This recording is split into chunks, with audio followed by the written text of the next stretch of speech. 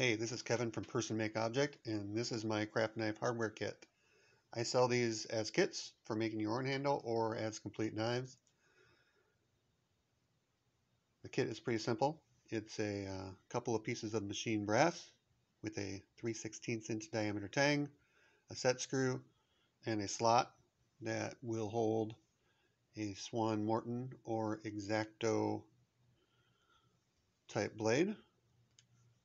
This set screw holds it very firmly in place.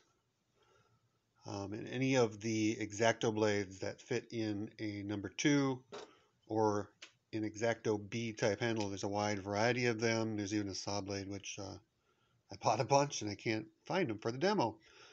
Uh, anyway, to integrate the blade holder to your handle, all you need is a 3 16 inch diameter hole and a shoulder that is 9 millimeters in diameter by 2 millimeters long.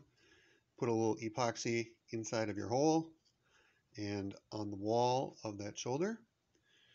You can then press your parts together, let your epoxy dry, and you have made a beautiful tool for yourself or for a friend. Uh, these make a great gift. You can pick them up at personmakeobject.com or on my Etsy store. You should buy one. Thanks.